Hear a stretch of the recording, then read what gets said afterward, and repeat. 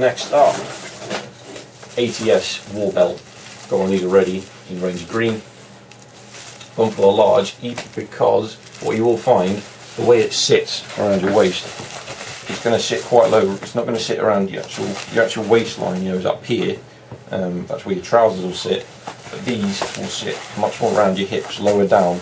Um, so even the large only just meets in the middle for me. I had a medium before and it only got to about there.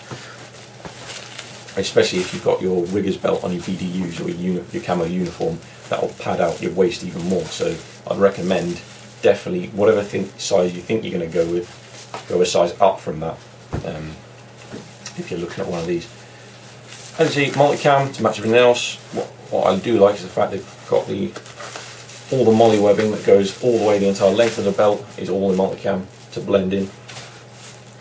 Official Crye stuff, as per usual. ATS, they're not the highest end brand in the world, but they um, the, the, thread they use, the stitching patterns, thousand denier Cordura, top quality um, plastic hardware, high quality Velcro, or hook and loop if you want to really be picky about it.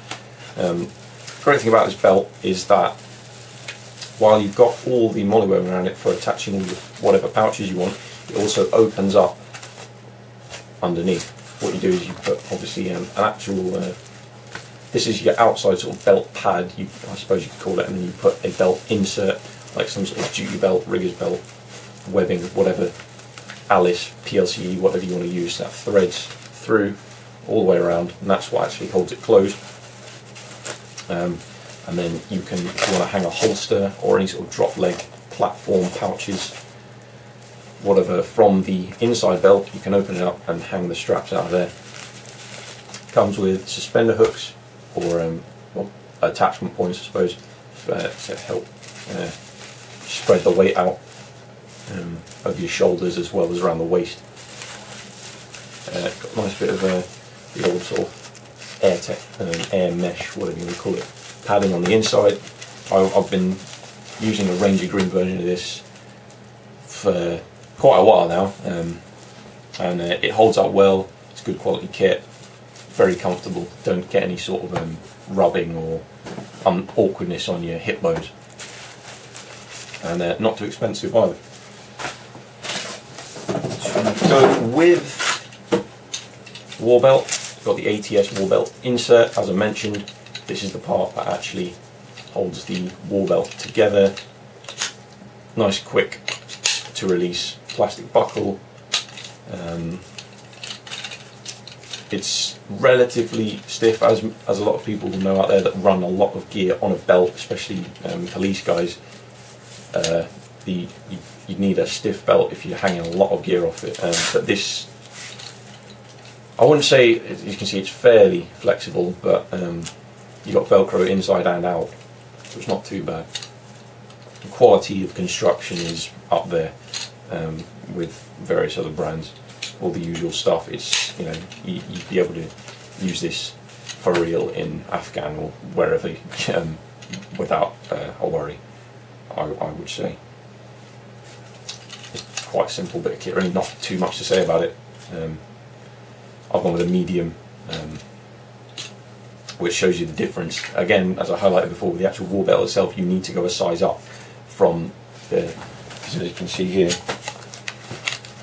that clips around no problem. Um, but the war belt, I'll uh, go with that size up.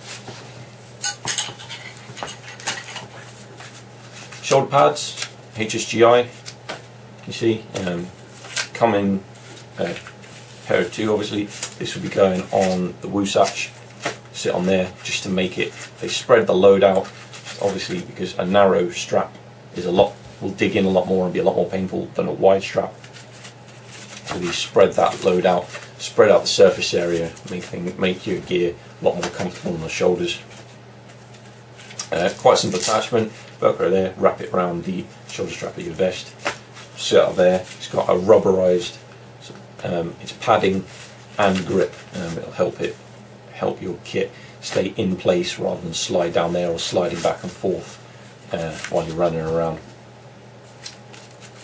Plenty of, plenty of padding on them, nice and thick and squidgy. to use a technical term, um, got Velcro patches there to help secure it to your shoulder straps. Uh, usual HSGI quality, again, probably Crye, Multicam, Cordura, 1000 denier. Nice. Um, they're not cheap for what they are, admittedly, but uh, for that very simple upgrade to any vest or plate carrier, chest rig, whatever, very simple, not exactly expensive. And if you're going to be wearing something for a long time, especially in heat, uh, you know, desert type environments, whatever, uh, a little upgrade like that can make all the difference. So worth doing. That's those. Next up we'll do the Blue Force Gear belt suspenders. Now I've already got a pair of these, set of these in multicam, which will be going on that war belt. But I've also got my green war belt, which um, has the multicam suspenders on them, so I'll be swapping around. These are the Ranger Green ones, so we swap those around. So I've got the multicam on the multicam, green with the green. Makes sense, obviously. Um, now the fact I've bought another set of these, even though I have a pair, I think speaks uh, volumes. Basically, I don't need to say too much more that these are very, very good bits of kit. They're not extreme. They're not um, massively expensive. Eagle do a product very similar that uh, costs a lot more. Um, I've uh, covered these in a video already, but we'll have another quick go through them. Why not? They're nice and simple. Attached to your belt. You've got a loop there, that little metal buckle there. Thread your web, unthread it, thread it through the belt loop, thread it back through the buckle, secured on. Plenty of um, room for adjustment. That buckle can be slid up and down. You can adjust the strap through there. The actual shoulder padding area, you've got your air mesh type stuff on there, which is uh, very obviously very popular and very comfortable to uh, wear over there for a long periods. Webbing is really really tough stuff. It, I mean it's thin. That's what may be taking away like that, but that is, you know, and the, the threading, like as you can see in the area there where they're taking all the weight, that's not going anywhere at all. That's really really well built. Um, the force four sort of attachment points. They meet here with this bungee. Um, it's really thick bungee stuff. Very very strong. Um, really got a stiff. You know, it's got a solid core in it. Um, again, it's not going to be. Uh, despite the fact it looks um, quite weak, I suppose, to, to look at it, but it really isn't. And just the, the way these sit, up like so, it, they, they do work really well and they're very comfortable. Um, take a load off your uh, belt gear very nicely. Last couple of bits, malice clips, Um, issue with uh, what, what, what model this is for yeah, um, 1911s. Um, I've been using Serpas for all my pistols for a long time now.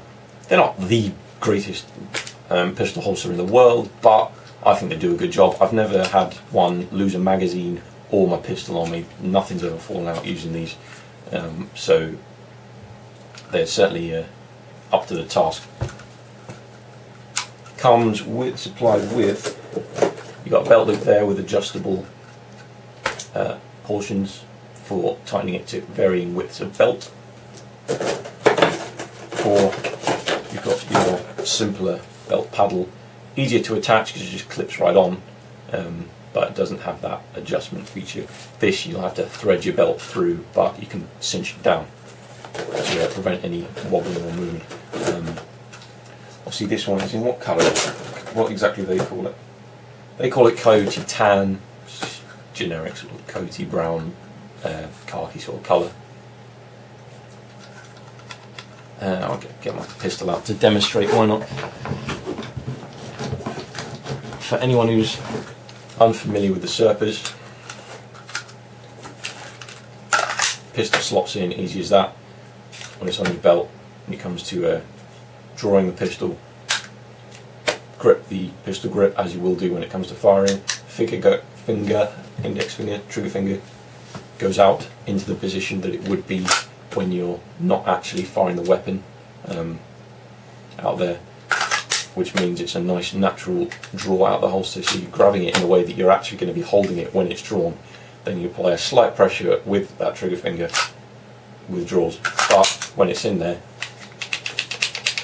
you know it's not it's not coming out. Um, the, uh, the trigger's protected. There's no chance you're going to uh, ND no worries no worries about that. Um, carbon fibre reinforced polymer.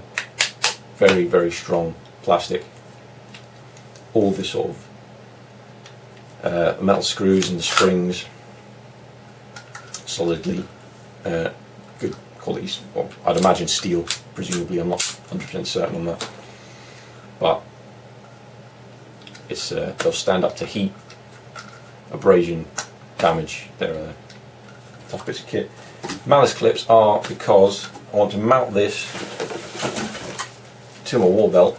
And obviously because this is a for a standard um, just normal webbing belt that's not going to go onto the MOLLE. what you can do get your screwdriver take the screws out this mount comes off. Because malice clips are designed to go on MOLLE webbing. What you can do is use these holes that already come in them screw the screws through the holes so it would be attached kind of like so obviously the mount wouldn't be there. Then you thread the malice clip through the webbing and your SERP is attached straight to the MOLLE without having to buy the Blackhawk um, proprietary MOLLE mount which is it, it's very wide and sort of prevents prevents the belt from curving. You end up with a big straight bit. It kind of is very uncomfortable to wear. Uh, and these are an awful lot cheaper as well so I, I go with these nowadays. And yep that's all. Um, thanks for watching guys. Any questions about any of the kit as usual, please do put them in the comments. I'll do my best uh, to answer any queries anyone might have. Um, lots more of these videos to come uh, over there as time progresses. Um, hope you've been, uh, hope you enjoyed watching. See you next time.